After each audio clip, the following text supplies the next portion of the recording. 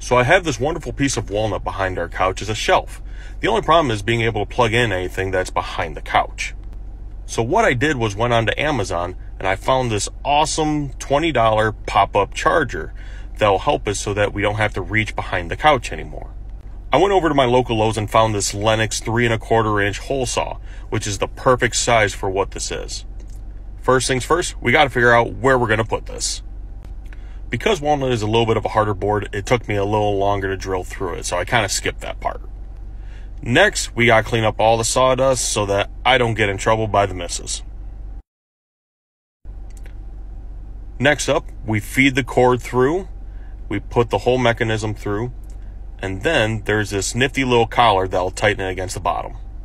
Once installed and tightened, you push out the outer ring, you pull it up, and voila, you get three outlets and two USB ports, and all you gotta do is push it back down and it'll be flush. The blue light is the indicator showing that it's getting power, so now we'll plug in the iPad, and bam! Spring clamp pliers, locking, you lock it on there, rotates with, you're all set, let it go.